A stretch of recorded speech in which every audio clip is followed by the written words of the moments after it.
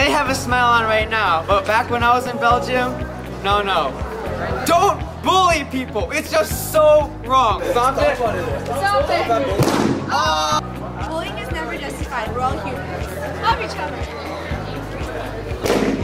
Bullying is kind of one of those things where it makes people feel worse about their self-value and they don't have a self sense of pride in who they are.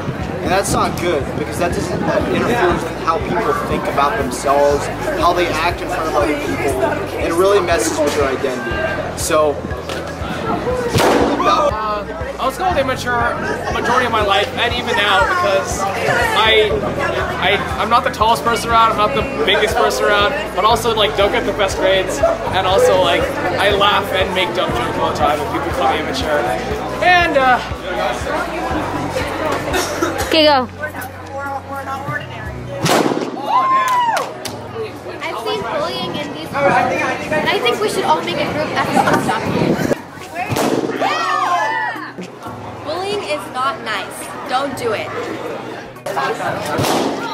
When I was in 8th grade, I noticed that someone was getting bullied by a group of students on my middle school campus.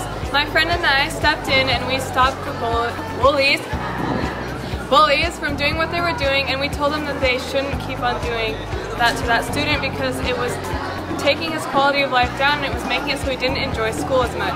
I feel the same way even today and I feel like that the environment at school is really is a lot better when bullying doesn't happen and so we should do whatever we can to prevent things from being said that hurt people's reputations or make them feel bad about who they are in any way.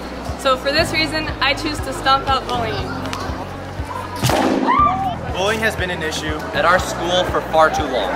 We need to try our best To stand together, and make sure Cupertino High School is a place where we stop out bullying!